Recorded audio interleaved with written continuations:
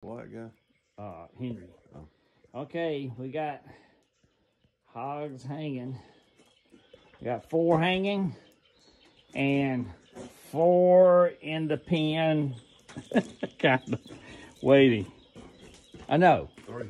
three. So we got a total of seven hogs cleaning for the smokehouse. Thanks, Kevin.